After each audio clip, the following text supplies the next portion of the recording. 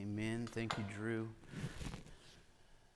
I got to preach at Marable Hill Chapel last week. They are also without a pastor, and so they asked me if I would um, would come preach. And I pray for them in the same way I'm going to pray for you, and and what that video just talked about. That I pray that whatever pastor they get, and there's probably other churches in the city that are looking for pastors, and whatever pastor that your committee calls and that you all vote, I pray that they will bring somebody that loves this city, that falls in love with South Arkansas that might have some camouflage clothing. I don't know what it takes to fall in love with South, South Arkansas, but that they would come to El Dorado and say, God has called me to this city. That's one of the beautiful things about church planters, is that God's not calling them to a church because the church doesn't exist. They're calling them to a people, to a city. And so I pray that God would bring you a pastor that loves the people of South Arkansas because I'm going to tell you, y'all are a little bit different. Uh, you're not like the Yankees from up north that I grew up with. You're all different. And so um, I pray that God brings you somebody that, that loves this city well. I'm going to give you the thesis of this message and then the one point that I'm trying to make right up front. And then hopefully we get there somehow through, um, through what we talk about from Hebrews chapter 1. The thesis is this, the idea is this, the theme is this that God has used many ways throughout history to reveal himself to reveal himself to his own creation. But in the last days, um, he revealed himself through the person and the work of Jesus Christ, that he is the image of the invisible God, that he is the exact representation of the Father. And the Apostle John tells us in the first chapter that the Word was God. He was with God and he was God. And then the Word what? Became flesh and dwelt among us. And so we're talking about the Logos, the eternal Word of God, the big capital W Word became flesh and dwelt among us, and that being in the person and the work of Jesus Christ. And God's revelation was not complete until He revealed Himself in the person and the work of Jesus Christ. So if you're a note taker, I'm going to make your job easier and give you the one point that I'm trying to make in this sermon, and it is this. You cannot live a Christian life while ignoring Jesus Christ. You can live a good life. You can be a good citizen. You can be a good neighbor. You can be good to your family. You can be a good member of the El Dorado community. You can be moral. You can have a good standard of, biblical, of, of business ethics and you can do things right. But you can't live a Christian life while at the same time ignoring the things that Jesus said. It doesn't work out really well. In fact, it, there's very good evidence that the things that Jesus said is a very integral part of this thing that we call the church. Like the reason we're gathered here is because God showed up in the flesh, dwelt among us, and had some things to say. So you can live a good life, you can live a moral life, you can live an ethical life, without the teachings of Jesus Christ. But if you're going to live a Christian life, you can't do that and at the same time ignore the things that Jesus had to say. Paul warns Timothy to pay attention to his doctrine and his teaching. And he does so because in doing so, you will ensure the salvation of those who hear you. The writer of Hebrews here says, if this is true, that God is that Jesus is greater than the angels. This is a great passage, by the way, for you to memorize or show your Jehovah's Witness friends. If they show up at your door, just take them to Hebrews chapter 1. That Jesus isn't an angel. This writer says so. But if it's true that Jesus is better than the angels, if it's true that he was there in the beginning in the spoken creation, if it's true, here's what this writer says in chapter 2 that Drew just read. It says, we really, really need to pay attention to what's going on here. We should pay more closely, uh, we should pay attention more closely to the things that happen in regards to Jesus, his person, and his work than anything else. And so that's my point today is that you cannot live a Christian life while ignoring Christ. We must pay attention. Looking in verses 1 through 3, I want to show you how I got there. In the first verse and the second verse, we see that God revealed himself in the past that the author of Hebrews doesn't begin with the Christmas story in telling the story of Jesus. The author of Hebrews points to the fact that it was through Christ, through the eternal Son, that God spoke the world into existence. That Jesus isn't a story that starts with a manger and wise men and shepherds and angels and stars and all of the things that we think about at Christmas. Jesus' story is a story of an eternal Son that was the agent of creation from all times past. That he was there at the very beginning, molding the world and speaking it into existence. The story of Jesus only makes sense in the greater context of the human story. It only makes sense in the context of Israel's narrative and God's redemption of the nation. That Paul's telling us that Jesus is the last Adam only makes sense if we associate it with the first Adam. That he is the true Israel, that he's the faithful Israel, that he's the true vine and the better temple. And everything that the author of Hebrews builds up only makes sense if we connect it with the Old Testament and the creation narrative. This author is stating from the very beginning that Jesus' story doesn't start with his ministry on earth, but starts because he was an eternal part of the triune God, forever past, forever future, that Jesus was always a part of that. There is a great resource written by a professor at Northern Seminary um, I think that's in Chicago. That don't hate him because of that. He's just that's where the seminary's at. And his name is Scot McKnight, Scot with one T. And he wrote a book called The King Jesus Gospel. And he really does a great job of showing you how the narrative of Israel and the storyline of Jesus fit so perfectly together. So there is, we are a part of an ancient faith. We're part of, of a faith that we really need to understand in order to really grasp what Jesus was doing and what he was here to accomplish. Uh, but here's what we're pointing to in the idea that Jesus is the center of the entire human story. He's the point of all Scripture, He's the point of all creation. The universe was created by Him, and I know this is going to break a lot of your hearts, but it was also created for Him. All of creation was not for you. The earth and all of its wonderful majesty was not created for you, it was created for Him. We were called to be stewards of it. He placed us here to take care of creation, but it was not for you. It was created for Him, and that runs contrary to our ideas and our modern thought. In fact, the very first line of Rick Warren's book, The Purpose Driven Life, not the Purpose Driven Church, but the Purpose Driven Life, the very first line, if anybody's ever read that, the very first words in there say, It's not about you. And you might, you might disagree with a lot of Rick Warren's things, but you can't disagree about that. It's not. Life is not about you. The Bible is not about you. The story of Jesus is not about you. Creation is not about you. It's all about Him. The entire book of Hebrews is one long exposition telling you that everything you've ever known about the Old Testament was pointing to something. Something greater than the temple, greater than the priesthoods, greater than the law, greater than the prophets. It was pointing you to the perfect work of Jesus Christ. Notice also that God speaks. Verse 1 God, after He spoke long ago, He's been speaking since the beginning of time. That He spoke the world into existence, that it reveals Himself, himself through speech.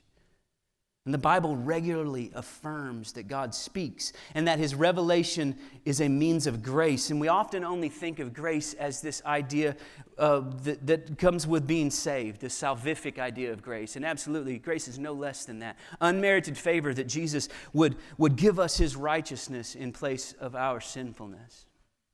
But don't you know that it's unmerited favor that you know anything at all about a triune, eternal God?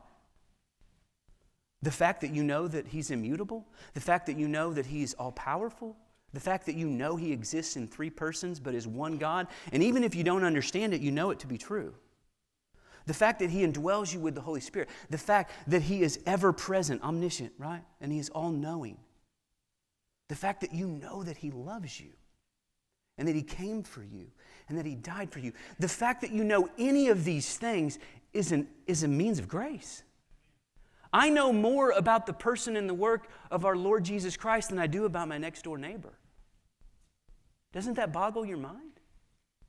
This eternal God has made himself known. Folks, don't let that go. That he's made himself known, he's revealed himself. He didn't have to, and he did.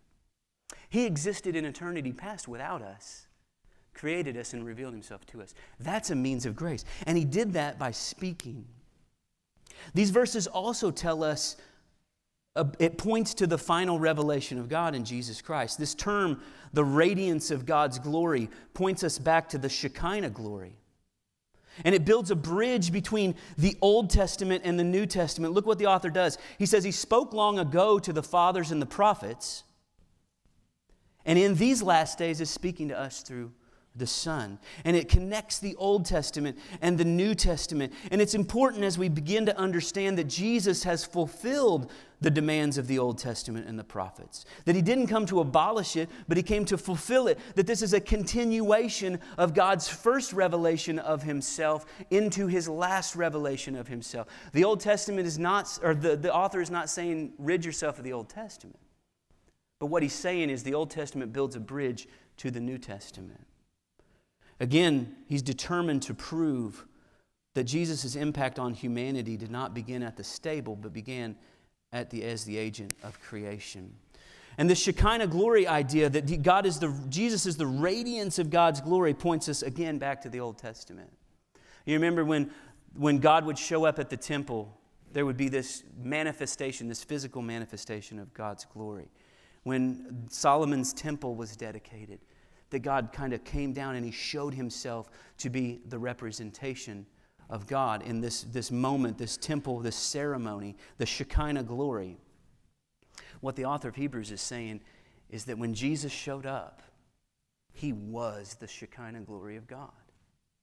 He was the radiance of God. He was in all of God's glory. He came to reveal himself, the exact representation of the Father. Not a close representation, but the exact representation. And here's where I want to get to the point of this entire exercise. Logan is a pretty good example of this. Uh, Logan's girlfriend, Riley Bass, was at our house last night, and we were watching a movie, and um, she actually said, she said, it is eerie how similar you are to each other. Because we both have a, a slight bent towards snark and sarcasm. Um, it's kind of a love language of ours. We love to be witty, we love to be sarcastic. That's kind of where we go. We both chew on our cheek the same way. We both have the exact same mannerisms. Um, we both look at each other, look at other people with like this just dazed and confused look when we don't care what you're saying. So sorry if any of you have seen that. I do care. Um, it's just a look I have. But we both have the same mannerisms, and people have said, and when we go home to Illinois where we don't get to see people, and they're like, oh my gosh, he looks just like you did in high school. yeah, I know. That's what he's going to look like when he's older. So, I mean, we look, we're similar. We're similar. We're in so many different ways. We are similar to each other. But technically speaking, he's only 50% mine. Right? I mean, that's how DNA works. He's 50% his mom. All the bad stuff is his mom. But he's 50% me, he's 50% his mom. We are similar, but not the same. Jesus was 100% God and 100% man. The math doesn't work, but it's what the Bible testifies to. And so there was a great big fight about this in the fourth century in 300 ish by 325, they convened a council to come together um, to talk about the sameness of Jesus Christ and the Godhead. The reason we sang the song about I believe, I believe in God the Father, I believe in Christ the Son, that's the Nicene Creed. That's something that's been spoken of since 325 AD, where they decided, they got together, and they were fighting over one letter. One letter that changed everything. There was a guy that said um, that Jesus was a similar substance and the church fathers got together and said, No, that's not what the Bible teaches. The Bible teaches that God was the same substance. So there's a couple terms homo, same, we all know that word, same substance, homoousios. And then there was homoi, homoiousios. And the church, they was like, well, let's just go with homoi. That he was kind of the same, but not exactly the same. And the church decided, no, that is not what the Bible teaches. The Bible teaches that he's the exact representation of the Father. That he is exactly who God said he was. That Jesus himself said, I and the Father are one. So, how are we going to get away from this? And so, The Nicene Creed was written to exclaim that Jesus was very God of very God. Philippians goes on to testify that he, even though he existed in what? In the same form of God, did not consider it was something to be grasped. Or the Old Te- the King James says, be robbered, like something clung to and taken, but humbled himself in the form of servant. You know the rest of the passage. The point is that Jesus was the exact representation of God. He and the Father were one. I love the story in John 14. Jesus is getting ready to be taken, to, go into Jerusalem and just, and just be taken. He's teaching his disciples. That whole last part of John is just pouring into the disciples. And we, we talk about this a lot in funerals. He says, I'm going to go and prepare a place for you, right?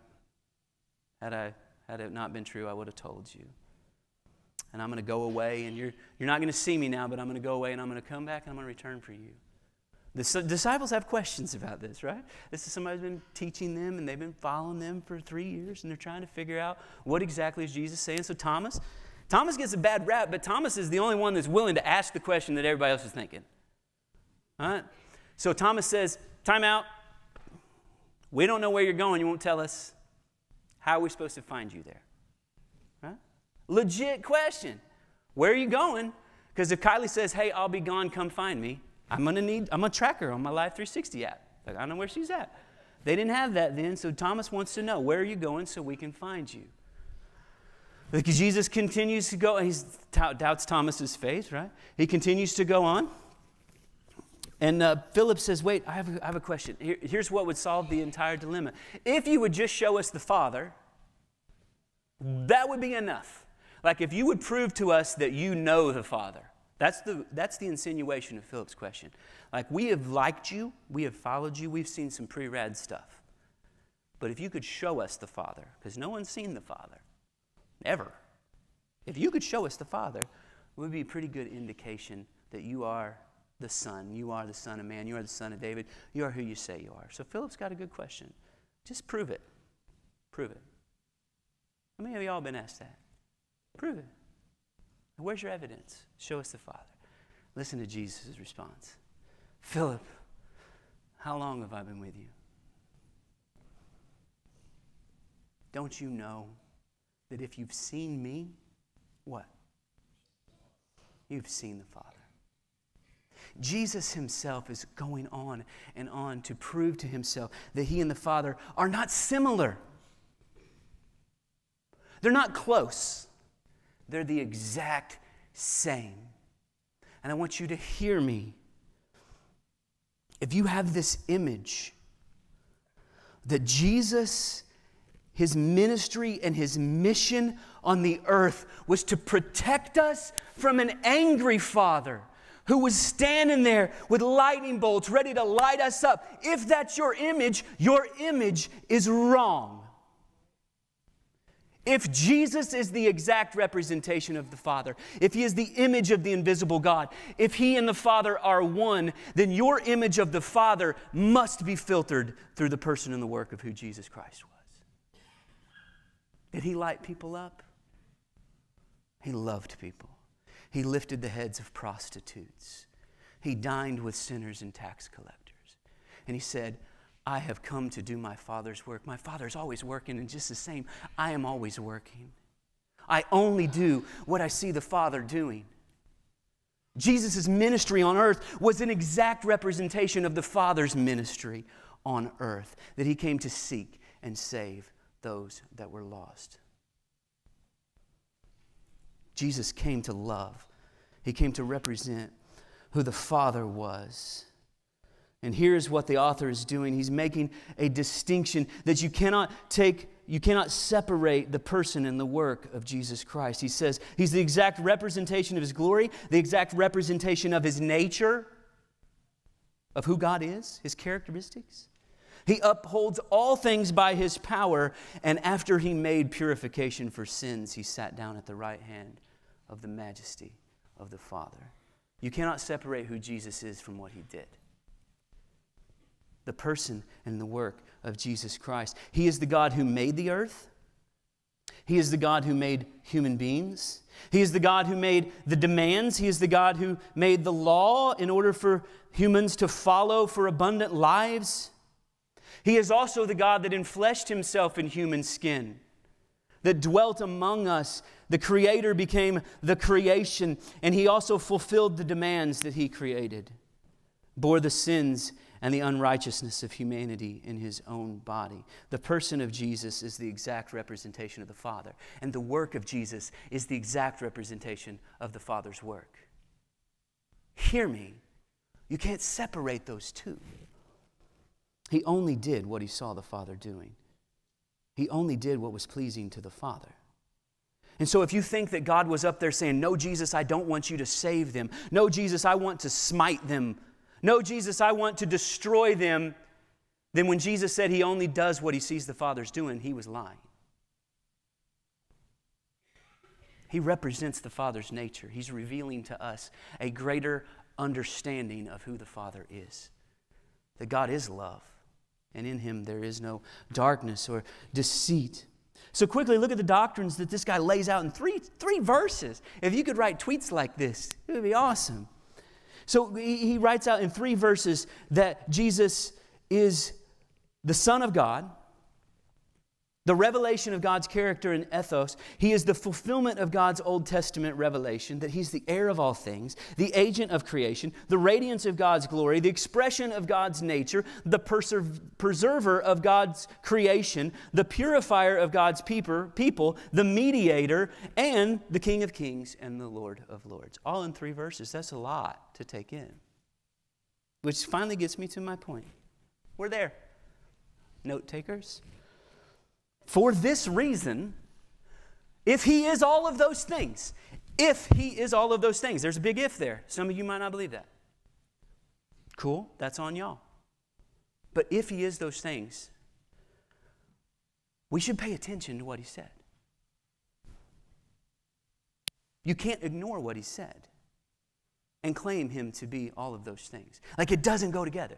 If Christianity is built on the fact that Jesus is the homo ousios, that he is the exact same representation, very God of very God. If Christianity is built on that, then what he said is of utmost importance.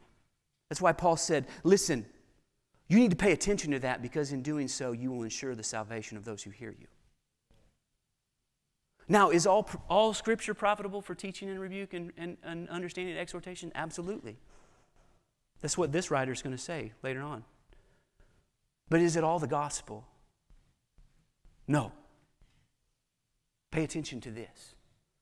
Whether or not you can explain the intricacies of the Trinity is not nearly as important on whether or not you can explain that Jesus was God. I don't know how he was God, but he was God and he died for me. There are some things that carry more weight.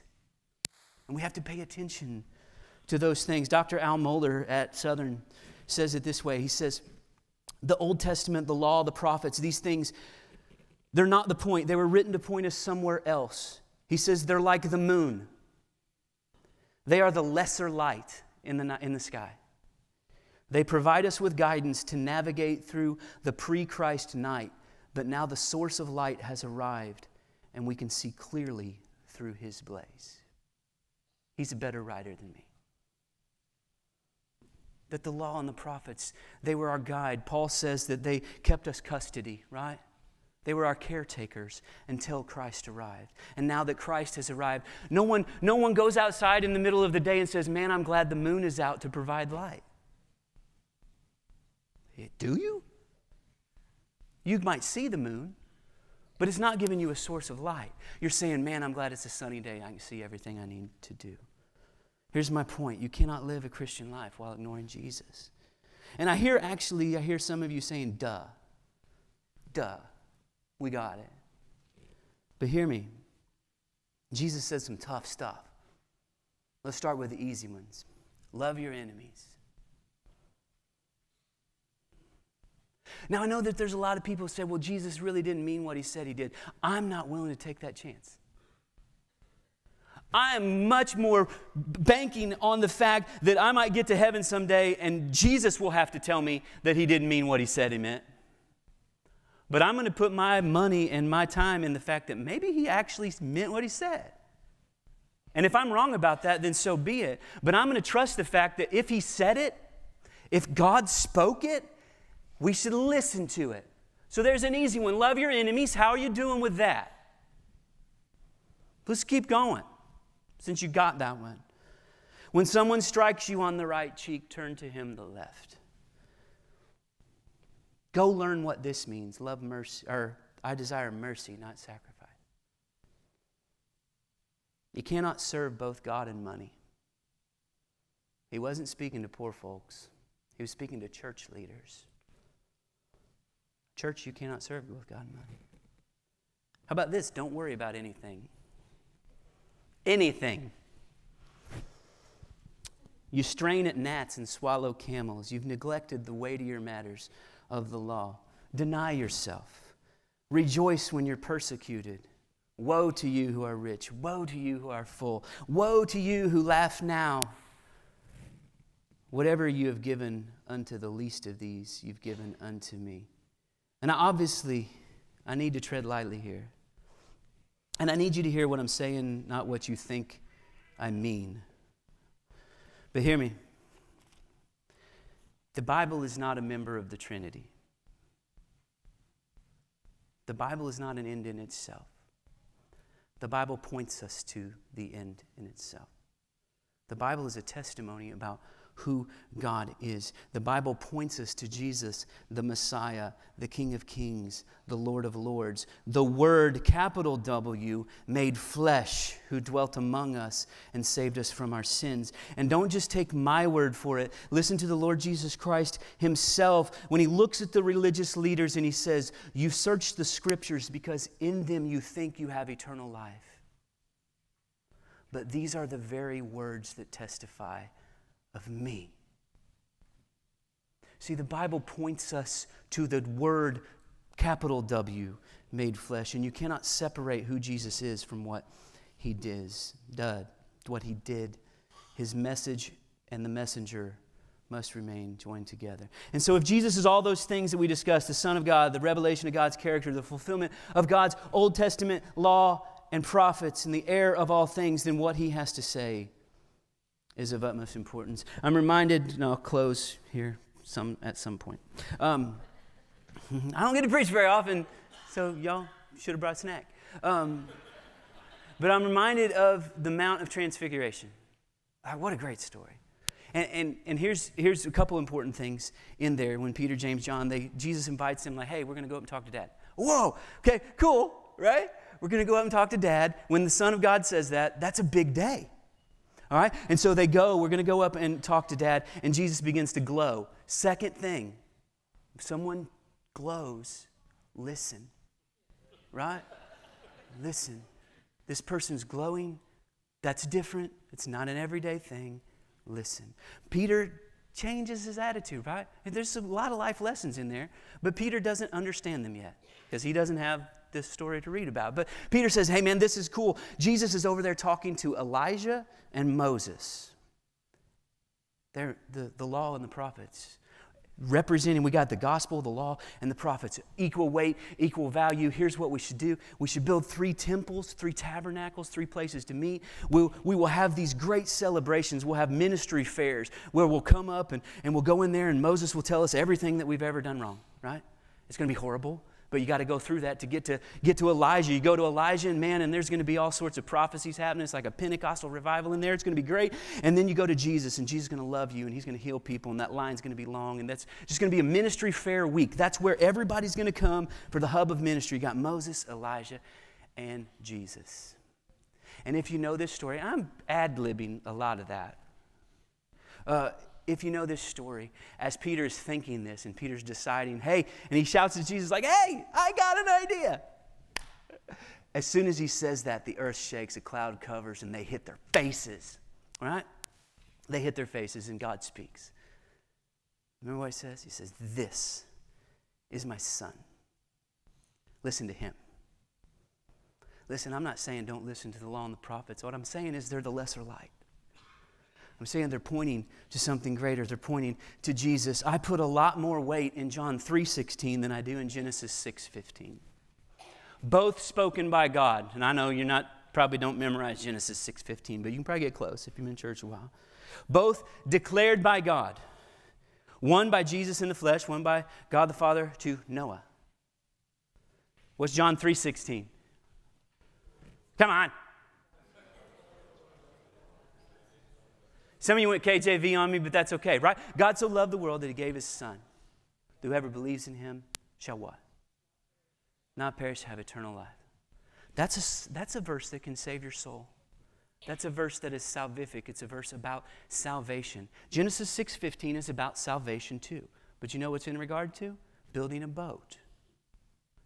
He says, You shall make an ark of gopher wood, 300 cubits long. True? Yes. Spoken by God. Yes. But one of those verses will ensure your salvation, the other one will help you build a theme park in Kentucky. Right?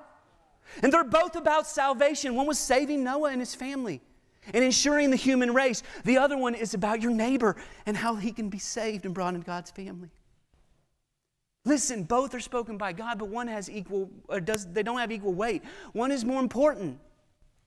The Bible is not a flat text giving equal weight to every verse. There are some things in the middle there that Jesus said that are of utmost importance. And y'all, you can't ignore those and live a Christian life. You can't say, well, I follow Moses, or I follow Paul, or I follow Apollos. Because Paul's going to smack you and say, we all follow Jesus. He is the authority in our life. So, what are some things that you can do? First, an evaluation. Evaluate this message, evaluate yourself. Is what I'm saying true? Up for y'all to decide. If it's true that what he says has ultimate weight because he's the exact representation of the Father, then if that's true, then what he said and did is of utmost value. So, secondly, humble yourself. Humble yourself. I know that that's hard for Americans. It's hard for American males, especially. Humble yourself. None of us have lived out the ethic of Christ. So repent. Admit that and move forward in an attitude of keeping with repentance. I am truly amazed at the lack of repentance in the American church. Repentance is a gift from God. Angels don't get to repent. We read about it, like they don't get to repent. They look at the gospel and they're confused. If you know your Bible history, if an angel sinned against God, what happened? kicked out. Humans can sin against God, and what, what, would, what did God give them? The gift of repentance. I'm, I'm amazed by the lack of repentance in the American church. Excluding the gift of Christ Himself and the indwelling of the Holy Spirit, I can think of no greater gift to humanity than the gift of repentance. We can repent. So do that. Just repent. Be humble and repent and say, I have not done this right. Thirdly, I would suggest reading the words of Jesus. There's a great argument in seminary on whether Jesus preached Paul's gospel. How dumb is that? Jesus preached the gospel, Paul preached Jesus' gospel. Read the Sermon on the Mount. You're going to be tempted to ignore most of it. You're going to be tempted to say, Well, this seems impossible, Lord. It is. Yes. Does that mean you should not attempt to love your neighbor? No. If he said it, he meant what he said. And if he meant what he said, he probably thought a good idea for you to do it. You cannot live a Christian life while ignoring Jesus Christ. Marinate on the Gospels. Hear his good news proclaimed. So let the Spirit lead you into truth. And perhaps I am in the minority here, and I'm okay with being in the minority, and it may make me a radical, but I happen to believe Jesus meant every single word he said. I believe when he lifted up the head of the prostitute and said, Neither do I forgive you. I think he meant that.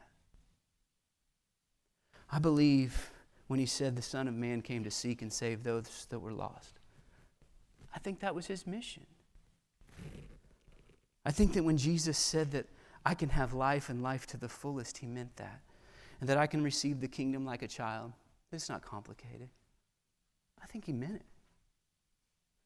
I think when Jesus asked me to love my neighbor and to love my enemy, and that that's how the world will know that I'm his disciples, is if we have love for one another, I think he meant exactly what he said. Man, I think when he said, Who the Son sets free is free indeed, that I am free. I'm free from anybody else's opinion of me and how anyone has built my identity upon their misperceptions because I am free in the finished work of Jesus Christ. And I believe when he said it is finished, he meant it is finished. That the work is done, the debt has been paid, that Jesus paid it all. I believe it with all of my heart, and I will go to the gates of heaven and I will stand in front of him and say, I believed every word you said. I might not have done it perfectly, but I believed that you meant what you said when you said it. Because I believe that you could not live a Christian life while ignoring the things that Jesus said. Let's pray. God, thank you for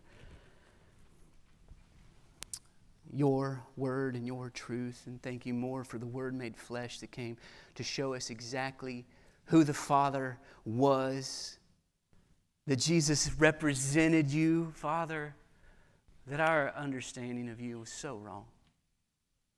That you are a God that loves, that chases us, enemies of God, and you still chased us. That we had turned away from you and you sent Jesus to track us down. That you loved us, that you pursued us. That rather than attacking your enemies when you had every right to do so, that you just laid on the cross and said, Father, forgive them, for they know not what they do. Uh, that ethic is tough.